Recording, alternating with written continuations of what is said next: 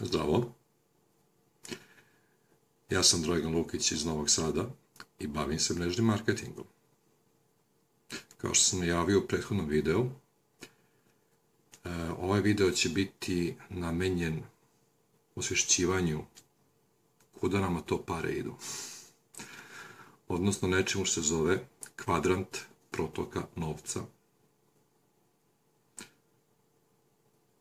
verovatno je većina vas čula, pročitala ili šta god ovo delo i još mnoga druga dela od Roberta Kiyosakija,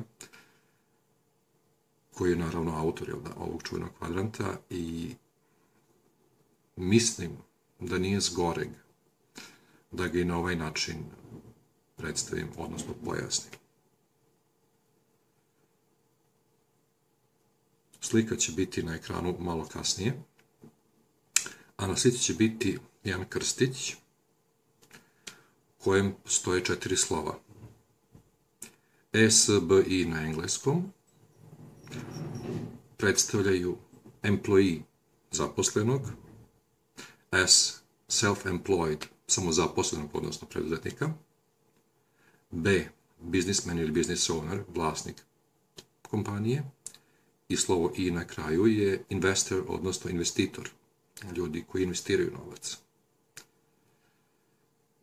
I već na samom početku može se vidi da su zaposleni i samo zaposleni sa jedne strane, odnosno u slučaju ako se s ove, a ovaj, vlasnici firme, investitori sa druge strane. Takođe, jako lako se prati, znači, e, pošto su zaposleni skroz gore. Verovatno vam je već logično da su oni u nekoj najgoroj poziciji. Zašto? Zaposleni rade za platu. Rade što im drugi kaže i zavise od volje drugih ljudi koji ga zapošljavaju. Imaju privid sigurnosti time što svojim radom, svojim vremenom koje daju dobiju neku protivrednost u novcu i to je to. Samo zaposleni, odnosno preduzetnici, mm, su sami sebi vlasnici, da kažem, ševi. Sami sebi odgovaraju za sve što rade, ali ni njima nije lako. Zato što, kao i zaposleni, i samo zaposleni, onog momenta kad prestanu da rade, ne mogu da kaže gube tlo pod nogama, ali finansijski priliv momentalno prestaje. Zaposleni moraju tražiti novi posao, samo zaposleni preduzetnici moraju da traže neko rešenje kako bi nešto napravili. Moraju jednostavno kao ajkule stalno biti u pokretu. Vlasnici posla, s druge strane, imaju ljude koji rade za njih. Ali još bitnije od svega Vlasnici posla imaju sistem. Imaju sistem koji njima omogućava da od rada drugih ljudi prave prihode i da kad sve izmire, oni ostanu u plusu, znači da imaju neki profit. Njima nije bitno da li će radi ili neće. Ako je neko vlasnik firme, ne mora vode direktor, može da plati nekog stručnjaka koji će sa tim okupiti tim i koji će svi zajedno primijeniti sistem koji će svima donositi prihode. Ali vlasnik posla, kao što rekao vlasnik firme, ne mora biti direktno uključen u celu tu priču. Može biti bukvalno samo vlasnik.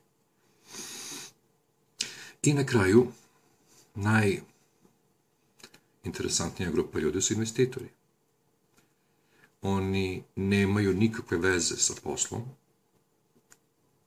doslovce. Njih samo zanima kad daju svoj novac,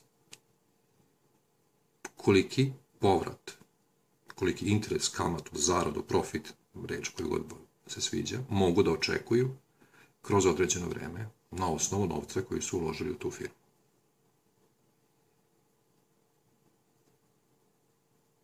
Novac radi za novac naj, najzanimljivija kategorija. E sad, vlasnici firmi, investitori ne zavise od posla kojim se bave i od firmi koje rade, ako ništa drugo, njihovo ime. Oni imaju mogućnost da rade ono što žele u životu, jer ne moraju da misle o onome što misle zaposleni i samo zaposleni. Ne moraju da misle o svakodnevnom preživljavanju.